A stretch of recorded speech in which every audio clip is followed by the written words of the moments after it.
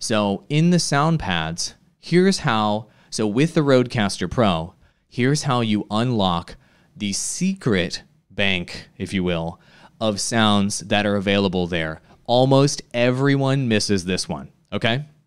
So here's how you get the secret bank of sounds. So what you're going to do in your Rodecaster Pro is you're going to click the music icon up here in the top right hand corner. Then it's going to pull up your main sounds that are currently on your Rodecaster Pro right over here. Then what you're going to do is you're going to click forward and then all of a sudden there's a secret bank of sounds, bank number 2, that you can use to program an additional bank of sounds over here.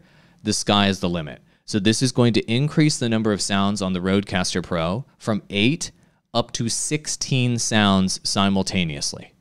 And then the way you access those sounds, of course, is hit one of the buttons.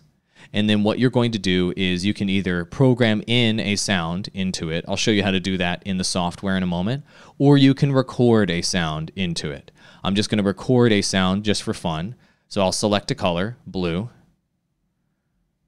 It won't let me select it, I guess. And then I'm going to hit record.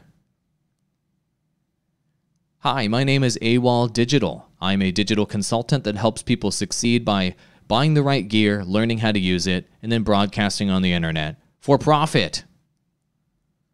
Done. And then now that that sound is there, as you can see, the button now appears over here as a new trigger in the secret sound bank. And then we hit the button and Hi, my name is Awall Digital. I'm a digital consultant that helps people succeed. I'm not going to play back the whole thing, but that's how you access the secret sound bank on your Rodecaster Pro.